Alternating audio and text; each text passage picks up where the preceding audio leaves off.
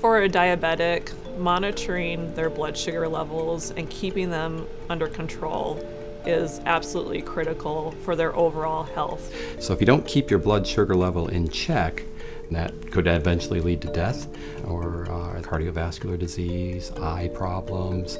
Uh, people have to have uh, leg amputations. So, what a diabetic has to do right now is do finger prick tests with something called a glucose meter. This finger prick test, it's just this one time point snapshot of what their blood sugar is. What we're trying to do is something very different. It's going to enable potentially a diabetic to have continuous glucose monitoring.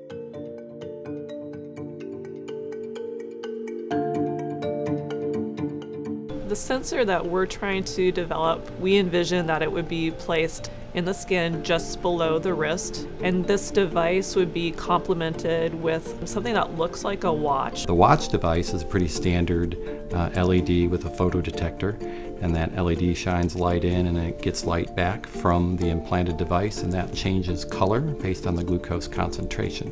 So the idea there is you can measure it uh, as often as you want and so by monitoring more often you can uh, regulate your sugar levels better. This should have an immediate impact on short and long-term complications and the amount of dollars spent to treat diabetics.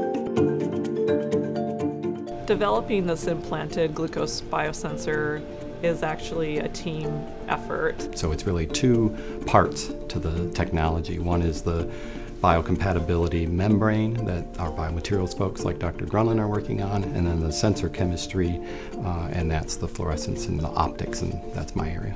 We're using light in terms of monitoring the behavior of proteins in response to glucose, and so just the idea of putting two different fields together is just great. This research is supported by the National Institute of Health, and this funding has enabled us to prove that this concept actually works. Right now, we think that the self-cleaning membrane has other far-reaching potential as well. So whether it's it's clotting or the foreign body reaction, a lot of medical devices fail due to this inability to keep their surface clean. So we think that the membrane could actually have far-reaching implications for medical devices in general.